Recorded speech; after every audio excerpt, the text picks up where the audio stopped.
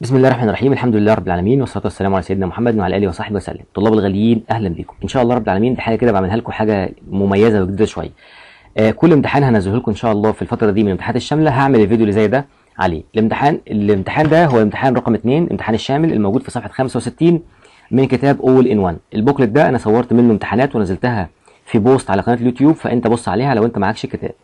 همسك الجمل كده وأطلع لك كام فكرة من الجمل دي وبحيث نقف معاها قبل ما نبدا نحل. أول حاجة كده الجملة الأولانية فيها كلمة fellow. عايز تعرف إن كلمة fellow دي معناها رفيق. وممكن نستخدم بعدها اسم. فأقول مثلا she is a fellow friend يعني صديقة رفيقة بتمشي معانا دايما. أو fellow student يعني تلميذ رفيق. انتبه بقى إنك أنت لو استخدمت كلمة fellow دي كاسم جمع كده ما ينفعش نجيب بعدها اسم. لا يأتي بعدها اسم. لو هنستخدمها لو هنستخدمها كاسم جمع. ال s دي جت مكان مين؟ مكان الاسم. زي ما أنت مثلا كان ممكن تقول other people مثلا other people. وجيت حبيت تحذف كلمة people فتقول لي others. طب ما ينفعش نقول others people لا انت كده بتهبد يا باشا. ما ينفعش نقول others people. ده رقم واحد. الحاجة الثانية الجملة دي فيها كلمة اسمها كلمة enemy. Enemy دي معناها عدو. الكلمة enemy دي بتساوي كلمة فو اللي معناها برضو عدو بتساوي كلمة rival اللي هو برضو معناها عدو. يبقى انت معاك ثلاث كلمات بمعنى عدو احفظهم. طيب اللي بعد كده برضو. كلمة company company معناها شركة جمعها companies. Companies دي كده أصبح معناها شركات. حلو الكلام. طيب كلمة company برضو ليها معنى تاني اللي معناها رفيق.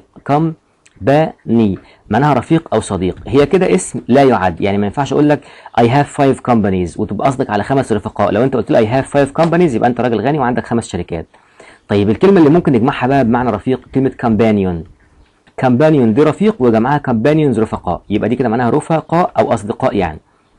طيب الجملة اللي بعد كده هتقابلك كلمة اسمها كلمة strict strict دي معناها صارم. في كلمة بقى اسمها serious اللي معناها خطير أو جاد برضو. إحنا عايزين ناخدهم بمنطلق المعنى نفس المعنى اللي هو strict يعني صارم ودي جاد. إيه الفرق بين الاثنين serious دي يعني doesn't laugh. doesn't laugh يعني ما بيضحكش. قفل وشه. طب كلمة serious ده معناها إن شخص بيهتم بالقوانين. فلما أقول لك my brother always makes sure that we follow the rules. بي- بيت- بي- بيأكد إن إحنا متبعين القوانين. يبقى كده هو serious ولا strict لا نقول عليه strict نقول عليه strict طيب الحاجة اللي تفكرك بيها دايما إن أنت أصلا بتقول قوانين صارمة. فتقولها إزاي؟ بتقول serious rules لا بتقول strict rules يعني قوانين صارمة. وبتقول strict instructions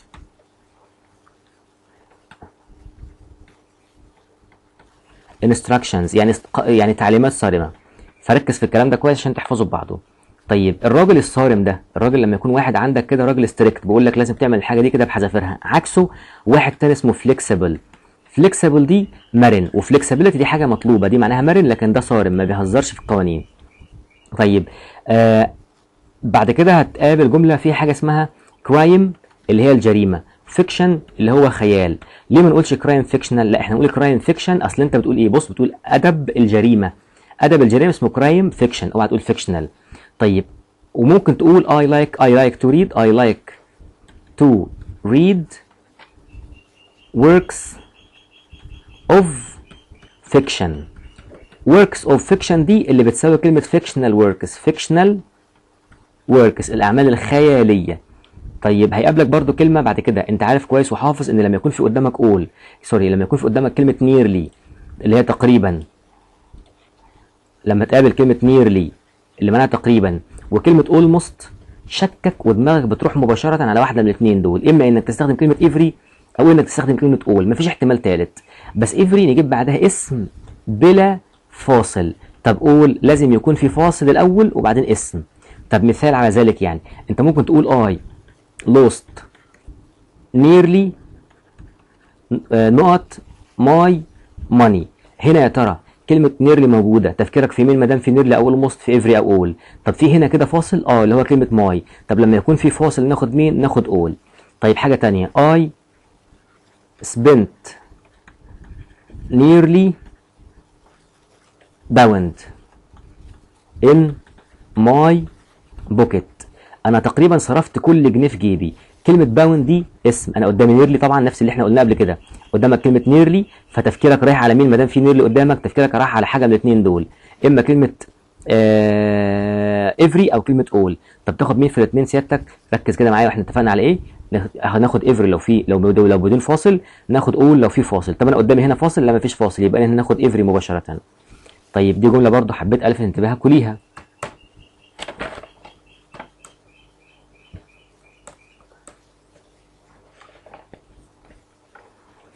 هيعملنا برضو جملة يا شباب بعد كده آه الفرق بين كلمة must have وكانت have. بص ركز معايا انت بتقول must have وال past participle أو must have been والباست participle.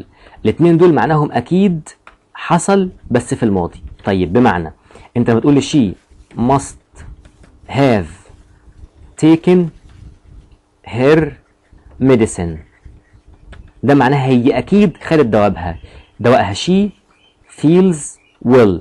هي دلوقتي اتحسنت. يبقى أكيد خدت الدواء أكيد اخذ دواء ولا مضارع. لا ماضي. فناخد must have past participle.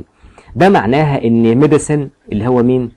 الدواء must have been taken. ده معناها إن الدواء أكيد اخذ انتبه. للترجمة. طيب واحد بقى الدكتور كشف عن الدكتور وهو لسه مريض. يبقى نقول he can't have taken his medicine. طب ده معناه إيه بقى؟ معناه إنه أكيد لم يأخذ الدواء. فكانت هاف باست participle أكيد لم يحدث. Must have past participle أكيد أكيد حدث. طيب في حاجة كمان في مصطلح اسمه play a trick play a trick دي معناها يلعب خدعة بتساوي كلمة trick فأنت لما تقول لي she tricked me ده معناها she played a trick on me وخد بالك؟ حرف الجار اللي معاها وحرف الجار on انتبه في الكلام ده كويس عشان لما يجي لك سؤال يقول لك مين في دول صح ويقول لك she played a trick on me مين في دول صح ولا she؟ tricked on me. التانية دي غلط تماما دي اللي صح. طب ليه؟ لأن المصطلح اسمه play a trick on. طب ما فيش play يبقى ما فيش on ونقول she tricked me على طول. يعني دي كده غلط الصح بتاعها إن إحنا نقول she tricked me مباشرة. طيب ادخل بعد كده على حاجة تانية.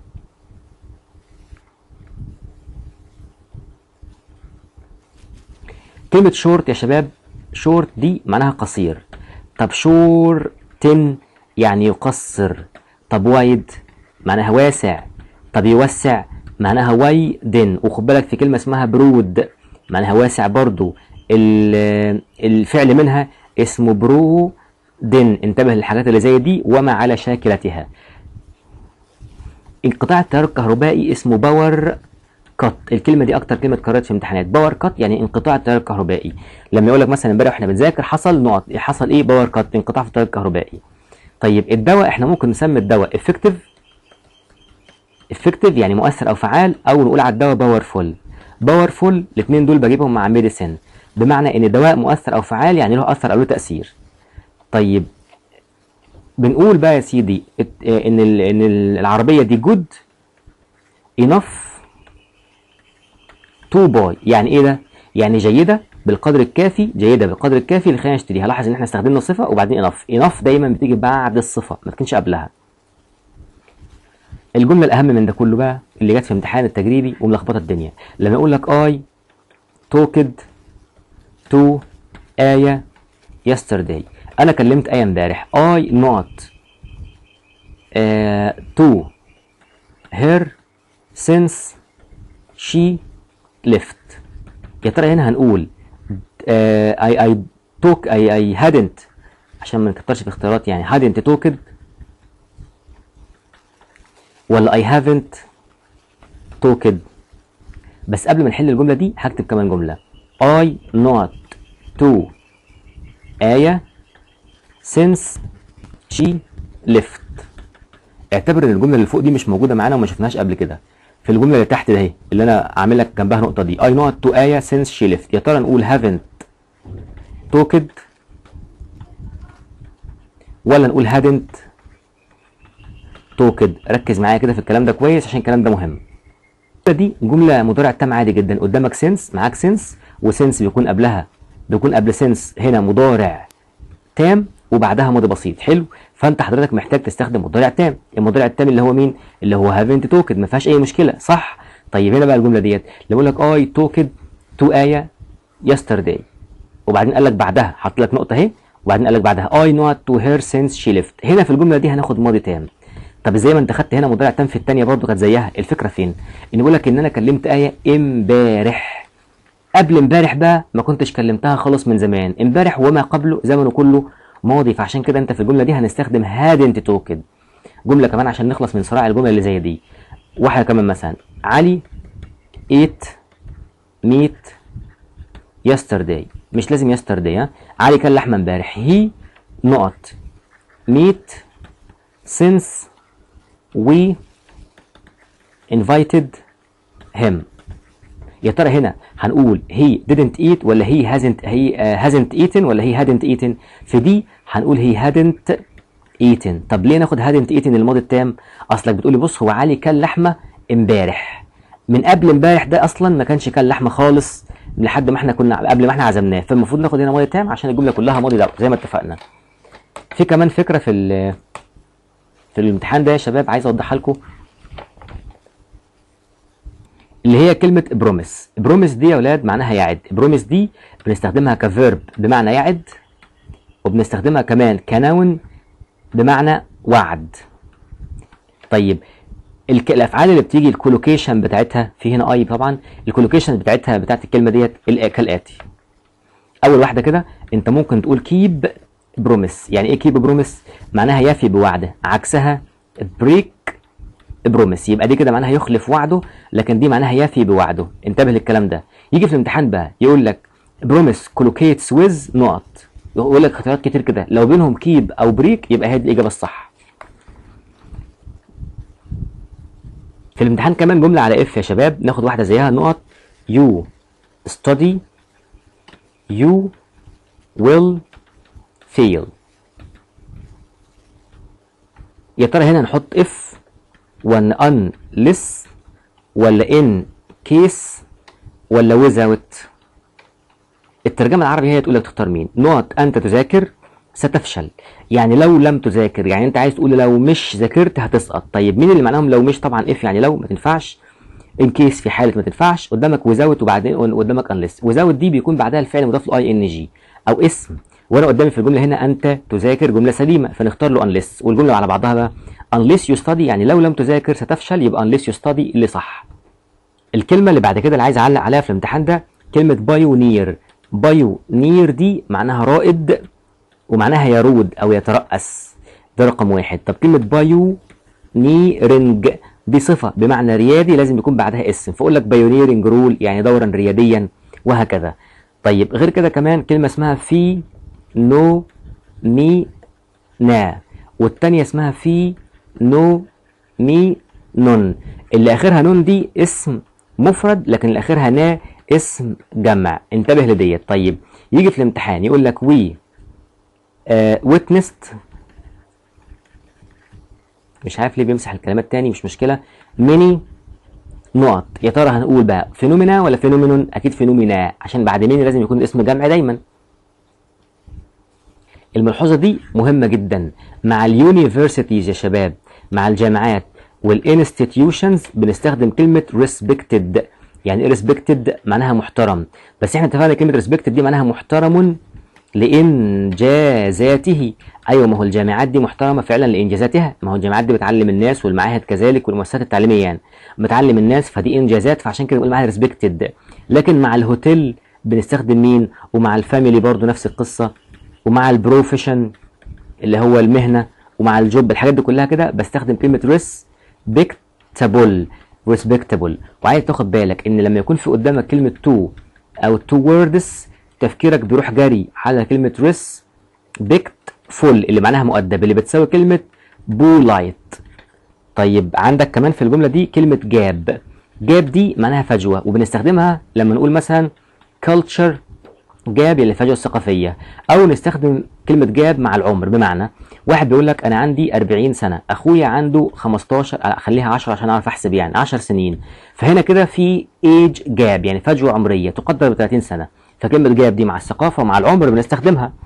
طيب الحاجة اللي بعد كده لما أقول لك not he not at home we would call him يا ترى هنا هنستخدم كلمة had ولا نستخدم كلمة should ولا نستخدم كلمة if ولا نستخدم كلمة were انت كطالب شاطر في ثانوية عامة عارف وحافظ كويس التركيبات بتاعت الناس دي بتيجي إزاي. عارف ان had دي لازم يجي بعدها احتمال من اتنين past participle وتبقى دي حاله ثالثه أو اسم شيء مملوك وتبقى دي كده حاجة ثانية هديك أمثلة. should لازم بعدها الفعل في المصدر. if عايزة جملة سليمة جملة كاملة. were احتمالين اتنين. were فاعل وبعدين اسم. أو صفة أو ظرف أو were فاعل to والمصدر. أنت حافظ الكلام ده كويس زي اسمك. طب ما تيجي نشوف كده. بيقول لك he اللي هي الفاعل not at home هل يا ترى هنا في past participle لا يبقى ما ينفعش had هل في هنا فعل في المصدر؟ لا يبقى ما ينفعش should هل في جملة سليمة؟ يعني فاعل وفعل ومفعول لا يبقى ما ينفعش if اذا الإجابة هنا مين؟ الإجابة هنا were. واللي هيترجم مش هيغلب. were he not at home يعني لو هو لم لم يكن ما هو كلمة were يعني كان أصلا لو لم يكن في المنزل لاتصلنا به. طب جملة تانية بقى عشان نستخدم فيها هاد. أقول لك مثلا هاد he a good chance he wouldn't miss it. بقول لك لو كان عنده بص أنت قلت لي لو كان عنده اللي هي هاد لو هو كان عنده. فرصة جيدة هو ما كانش ضيعها هتقول لي إزاي wouldn't والمصدر مع هاد؟ ده had دي حضرتك ليها احتمالات. ركز في الكلام ده كويس. had لما يكون بعدها اسم يبقى دي حالة تانية. طيب had لما يكون بعدها past participle يبقى دي حاجة ثالثه وانت مغمض عينك. طيب عايز واحد على should أقول لك مثلا should you leave you wouldn't win. بمعنى لو انت غادرت انت مش هتفوز. should فاعل مصدر والناحية الثانية would والمصدر إحنا عايزين حاله ثانية الحاجة الأهم من ده كله مع الكيلو ووحدات القياس اللي زيها كيلو وجرام و centimeters بناخد half a ما ينفعش غير a طب يقول لك في جملة half of a kilo. ينفع؟ لأ. خالص خالص خالص. الأهم من ده كله انت بتقول 1 خد بالك من المصطلح ده. 1 and a. half kilos. وانتبه لل s ات دي. في اللي أنا كتبتها لك دي عايزك تركز على حاجتين. أنت قلت لي 1 هاف هاف كانت إيه؟ 1 and a half و kilos. ركز على الحاجتين دول. الأولانية إنك بتقول 1 and a half ما ينفعش تقول 1 and half لازم ال a ثانيا إنك لازم الاسم اللي بعدها يكون جمع. طب أنا عايز أقول لك آه آه نص واحد ونص كيلو جرام يبقى 1 and a half kilograms لازم ال s الأخيرة تبقى موجودة. لو مش موجودة يبقى أنت غلط. الحتة الأخيرة في الامتحان ده الفرق بين didn't have to والمصدر وبين needn't have والباست participle. إيه الفرق بين الاثنين يا عم الحاج؟ الفرق بينهم كالتالي didn't have to المصدر المفروض ما كانش يعمل المفروض ما يعملش ما يعملش وما عملش. طب needn't المفروض ما يعملش بس عمل. طب اديني مثال هكتب لك مثال. ممكن تقول لي I not uh, money. It is free. I didn't pay. أنا ما دفعتش. يبقى يا ترى هنا نقول needn't have paid ولا didn't have to pay. أنت لازم تشوف الجملة الأول. تشوف الراجل دفع ولا ما دفعش. يقول لك أنا الفلوس. المفروض الموضوع ده مجاني علشان كده أنا ما دفعتش. كونك المفروض ما تعملش وما عملتش يبقى didn't يبقى ناخد didn't have to pay اللي هي دي. طيب الأب بيكلم ابنه بيقول له why did you pay انت إيه اللي خلاك تدفع يا ابني انت؟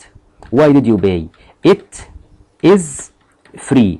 الموضوع أصلا مجاني. You نقط. يا ترى هنا هيقول له بقى المفروض يقول له needn't have paid يعني إيه needn't have paid يعني المفروض إنك ما كنتش تدفع بس أنت عملت. بقول لك أنت ليه دفعت؟ الموضوع يا ابني ببلاش ببلاش مجاني. أنت إيه اللي خلاك تدفع؟ يبقى أنت المفروض ما كنتش تعمل بس عملت ف needn't have ال past participle دي كانت تعقيبات من الامتحان كده يا شباب حبيت أعقب عليها وإن شاء الله رب العالمين ربنا يوفقنا. كل امتحان هنزله هعمل كده. عايزك تعرف إن في امتحانات في كتاب أول إن 1 الامتحانات دي أنا كنت بحلها على المنصة وهفتحها إن شاء الله بحيث الناس تسمع منها. كل يوم هنزل امتحان الصبح ولو لقيت الناس سمعت يعني هنزل امتحان آخر اليوم يعني بحيث ننزل امتحانين في اليوم بحيث تلحقوا تخلصوا الكتاب ده. السلام عليكم ورحمة الله وبركاته. قبل ما تمشي اوعى تنسى تعمل لايك للفيديو تشترك في القناة وهكذا. طب آه برضه حاجة نسيت أقولها يعني قبل وقلت السلام عليكم الأول. الامتحان فين؟ الامتحان يا شباب في الوصف رابط الامتحان في الوصف. يعني أنت عايز توصل للامتحان ده ادخل على الوصف هتلاقي رابط الامتحان ادخل عليه واسمعه. السلام عليكم ورحمة الله وبركاته.